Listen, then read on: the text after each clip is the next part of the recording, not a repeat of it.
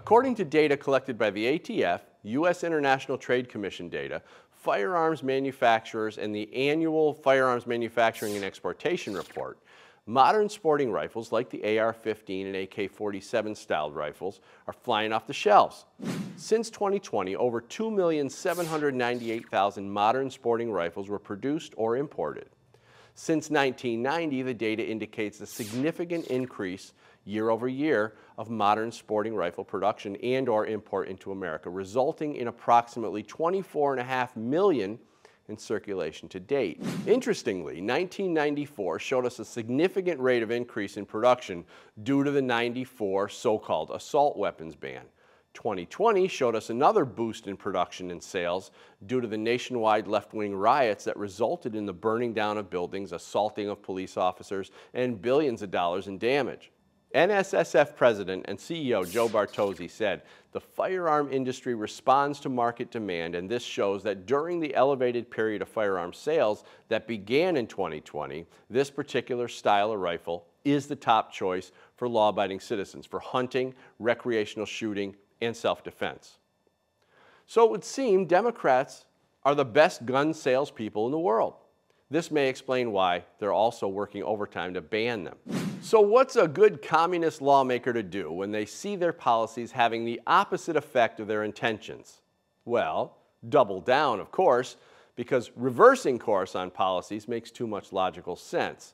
So while the Democrat-led Congress increases the incentive of modern sporting rifle production to over 24 million, Joe Biden demands another so-called assault weapons ban with the new Democrat-driven H.R. 1808 in an attempt to remove from the hands of Americans the very rifles they encourage the production of through their failed policies, the political left is attempting to take another bite at the rotten apple of gun control.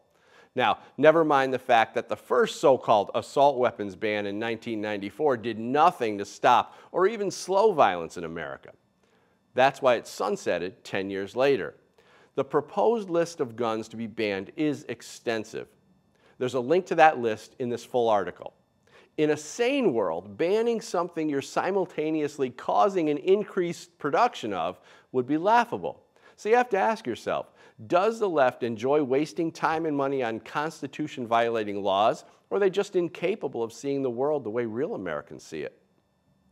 Left-wing policies are conducive to gun sales because they instill fear in one form or another, often fear of personal safety due to the lack of physical ownership of guns and fear of the reduced ability to purchase firearms in the future due to restrictive gun policies are the driving force behind sales and production increases. So while Democrats work very hard to create policies that ultimately increase rifle production sales, they have to work twice as hard to push policies that reduce the number of rifles in America. They need to push the anti-gun fear campaign to keep their anti-gunners on board, and they need to push gun control to prevent their political opposition from having the empowerment the Second Amendment affords. Like most things they do, this too seems very ineffective and counterproductive to their agenda. That's what happens when unconstitutional policies are the driving force of your ideology. So would AR-15 style rifles be as popular today as they are, if not for the gun grabbers' incessant attempts at banning them?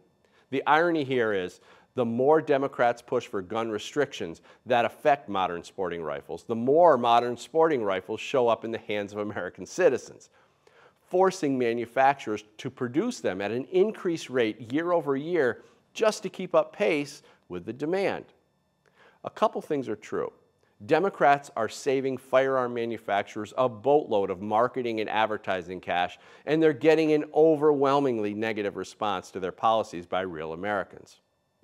I'm Dan Wos, and this has been another AmmoLand News Second Amendment Update. Tell us what you think in the comments below and share this with your family and friends to help support AmmoLand News, America's oldest Second Amendment news outlet.